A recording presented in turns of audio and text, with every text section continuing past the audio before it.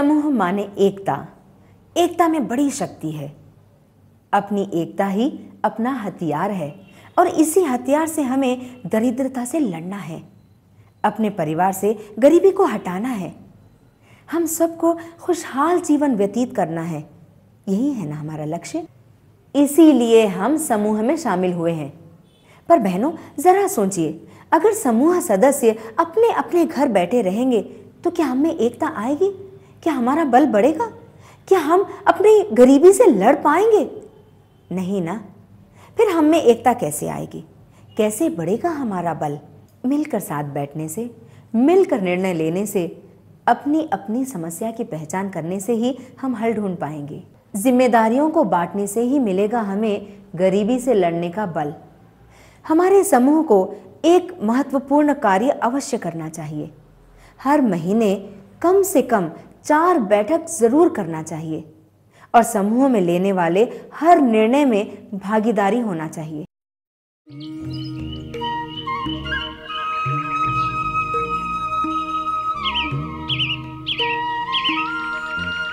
अब हम देखते हैं कैसे एक गाँव में कुछ गरीब महिलाएँ एक समूह बनाकर महीने में चार बैठक करके कैसे कुशलता से अपना जीवन परिवर्तन करती हैं।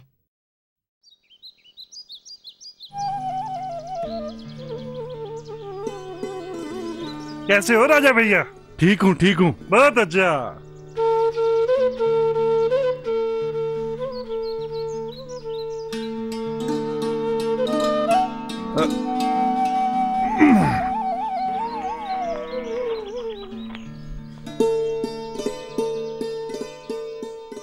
पिताजी आज आपको बहुत देर हो गई। हाँ बेटी। मुझे बहुत प्यास लगी है। जरा मेरे लिए पानी ले आओ। जी अच्छा।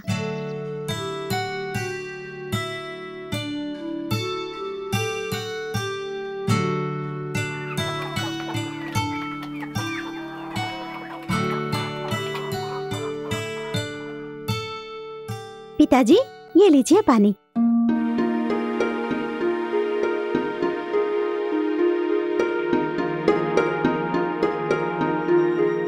पिताजी।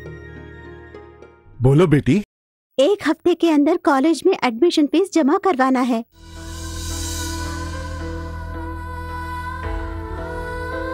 क्या हुआ पिताजी?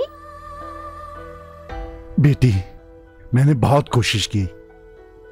लेकिन कहीं से भी पैसों का इंतज़ाम नहीं हुआ। जरा अपनी माँ को बुला। माँ वो तो बाहर गई है। बाहर गई है? किस लिए गई है? ओ बाहर गई है। हाँ हाँ मुझे पता चल गया। आज शुक्रवार है ना? तुम्हारी माँ बाहर गई है या बैठक में गई है? हाँ पिताजी बैठक में ही गई है। जो काम मैं मना करता हूँ वही काम आपकी माँ ज़रूर करती है। मैंने बहुत बार समझाया बैठक में नहीं जाना। लेकिन फिर भी वो चली गई। नहीं पिताजी ऐसा नहीं है। कैसा नहीं है? घर का सारा काम छोड़कर जवान लड़की को अकेले घर में छोड़कर बैठक के बहाने गाँव में घूम रही है। नहीं पिताजी सारा काम करके ही गई है। बेटी तुम हमेशा अपनी माँ की तरफदारी करती हो और वो तुम्हारी करती है। पिताजी बैठक में जाना कोई बुरी बात नहीं है। हमारे गाँव में दस सहायता समूह है। माँ के जैसे सौ महिलाएँ समूह से जुड़ी हैं और सब लोग बैठक में जाती है। हाँ हाँ बैठक के बहाने एक साथ बैठकर गप्पे शप्पे लड़ा रही हैं और समय बर्बाद कर रही हैं। काम चोर। पिताजी माँ का बैठक में जाना बहुत ज़रूरी है।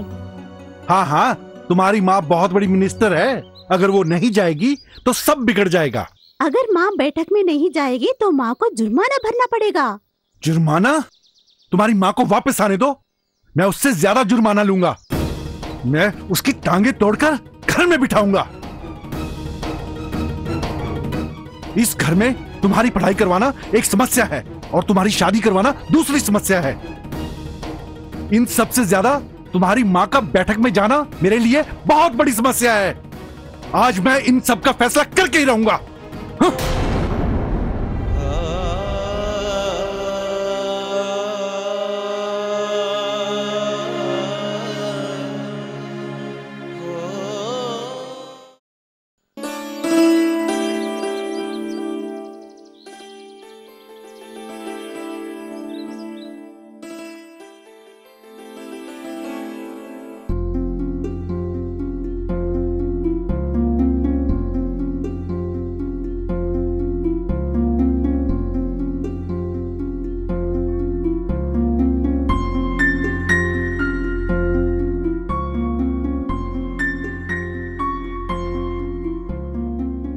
बेटा ये लो खाना खा लो खाना ठंडा हो जाएगा।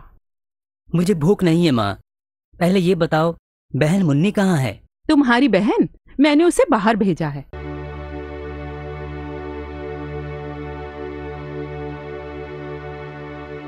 पहले तुम ये थाली लो और खाना खा लो।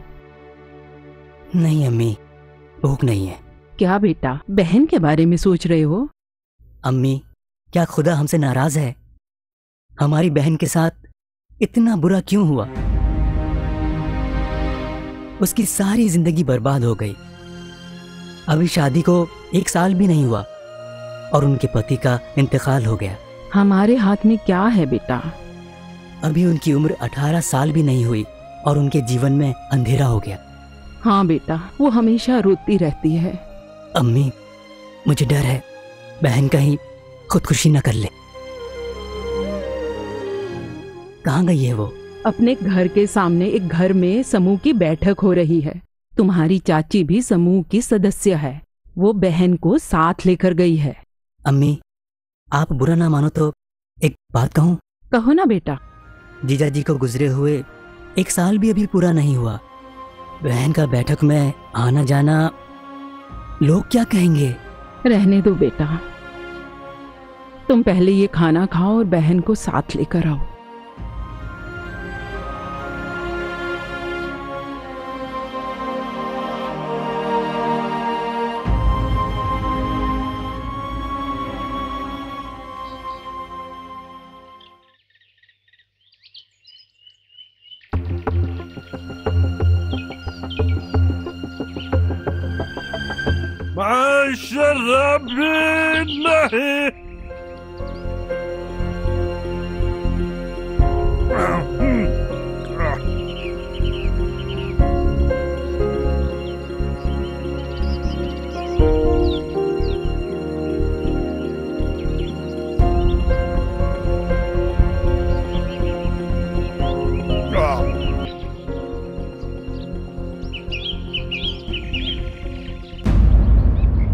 मैं शराबी नहीं।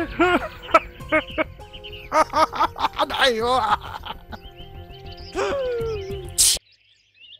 क्या पूरा पैसा खत्म कर दिया या कुछ बचा है?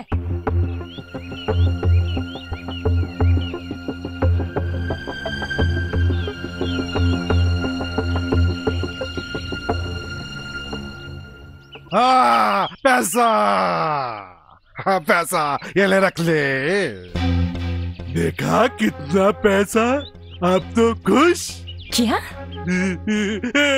इतने सारे पैसे? कैसे संभालूँगी इसे? नहीं नहीं चाहिए तो वापिस दे दो।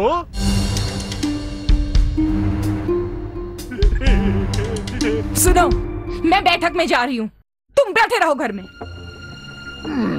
रुको। इधर इधर इधर इधर इधर बैठक में क्या करने जा रही हो?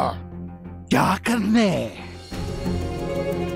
आज हमें बैठक में बजट जमा करना है। मुझे देर हो रही है। क्या? क्या देर हो रही है?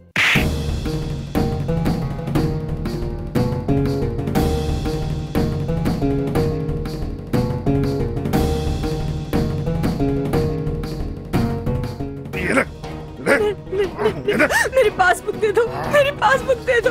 मैं पैर पड़ती हूँ मेरी पासबुक दे दो मेरी पासबुक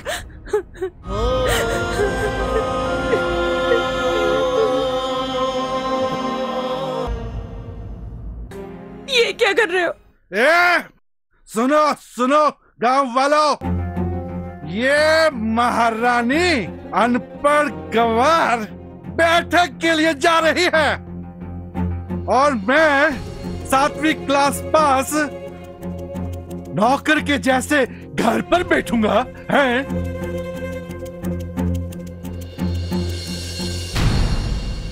ए, क्या आँखें निकाल कर देख रही हो? जाओ अंदर जाकर मेरे लिए पानी लेकर आओ। दारू में मिलाना है पानी लेकर आओ। जाओ। जाओ जाओ जाओ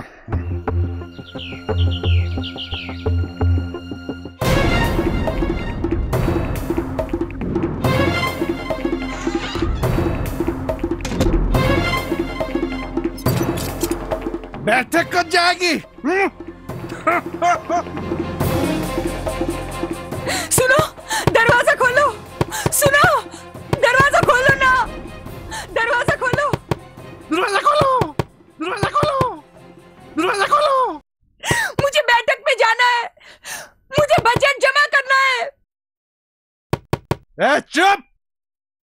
मैं नहीं खोलूँगा। मुझे बैठक में जाना है और बजट जमा करना है। दरवाज़ा खोलो। तुम्हारे पाँव पड़ती हूँ। दरवाज़ा खोलो। बैठक को जाना बचत करना। बैठक बचत बचत बैठक। ये सब मुझे पसंद नहीं है। दरवाज़ा खोलो। औरत घर पर बैठकर रोएगी। और मर्द बाहर जाकर पिएगा। यही मेरा कानून है। बेवड़े दरवाज़ा खोल। ए चुप! आज तेरे बदले मैं बैठक में जाऊँगा। जाऊँगा।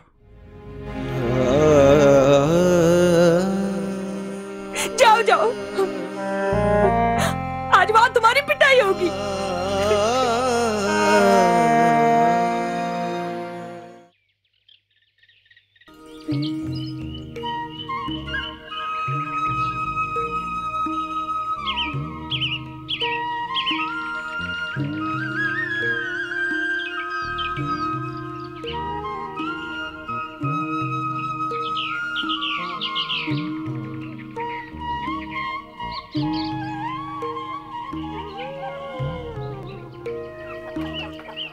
पापा। क्या है बेटा? पापा, ये कपड़े सुखा दोगे? अरे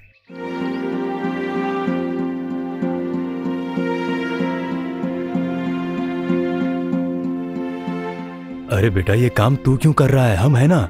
हम कर देंगे। नहीं पापा, मैं अपना काम खुद ही कर लूँगा।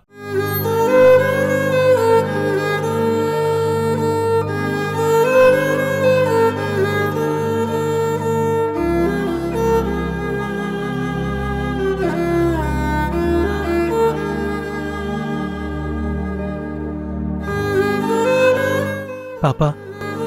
क्या है बेटा? नहीं कुछ नहीं। बोलो बेटा। मैं हमेशा घर पर ही बैठा रहता हूँ। मैं कोई काम नहीं कर सकता हूँ। इसलिए मुझे बहुत दुख होता है पापा।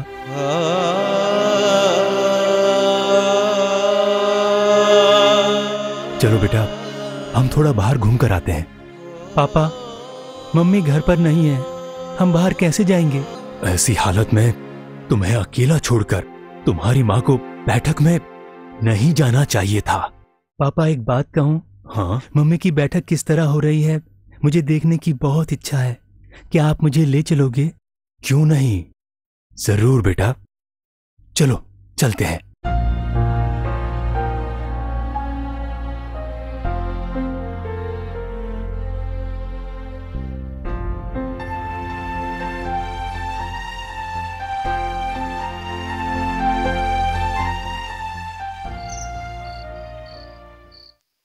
सब घरों का एक ही रोना है भाई। मुझे तो ये बैठक शैठक कुछ समझ में नहीं आ रही है। क्या करें? देखिए ये बैठक शैठक बहुत बड़ी समस्या होने वाली है।